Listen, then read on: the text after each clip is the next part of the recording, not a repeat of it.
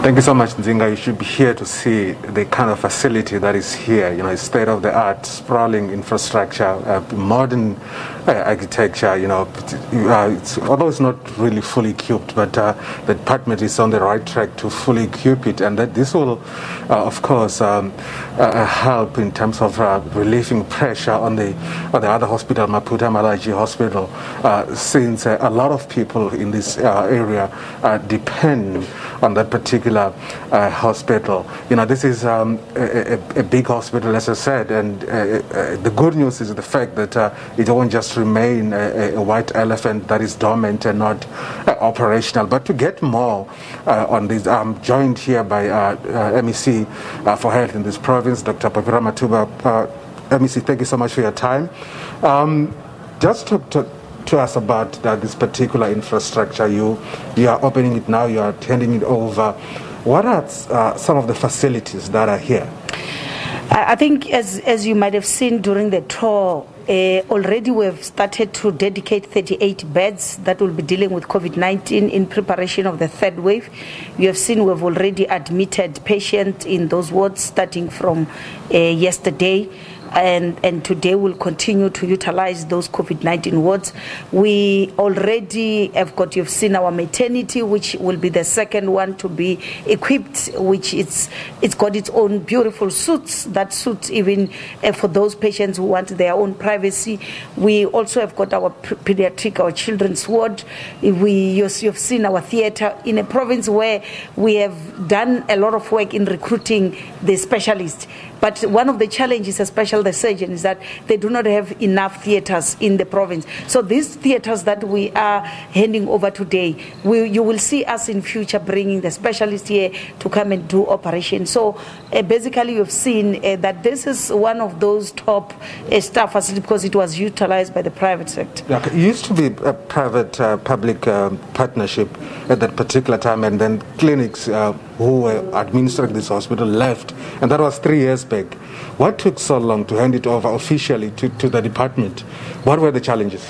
I think uh, where there are contracts and and also then there, there, will be I will not lie to you there have been conflicts on how uh, the contract uh, was terminated or how the contract ended how one partner pulled out of the contract. It, it had to go through the legal processes and we managed to finally at a long last. It was a very long journey but I want to thank the, the support that we get and also the cooperation that we got from clinics because we finally uh, finally finalize all those disputes within the contract. And immediately when they handed over uh, this year in February uh, to us officially, we started with the renovation. And this is the work that you see here. We had to put up a lot of effort in renovating, and that is why today you see we are here today. And I'm handing it over to Maphutha Malatjie Hospital Management together with Mopani District, so that, like you earlier said, the nearest private facility from here it's in Mediclinic Which is around one hour, uh, 30 minutes drive. This is an area which has got a lot of mine here. You've got a military health, a military services here. They also need health services here. So those are some of the partners that we've already started engagement with them to say how best can they utilize this facility.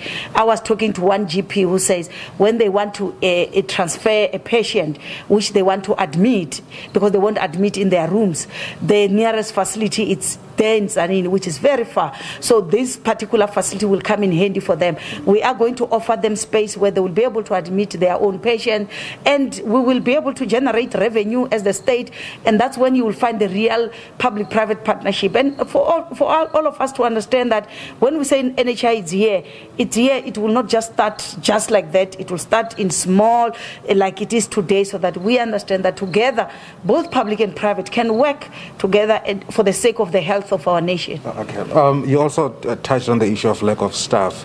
How much of the challenge? How much of the challenge is that? Uh, I must indicate that staff staff shortage is a challenge, especially with the austerity measure. We are alive to the situation that we are faced.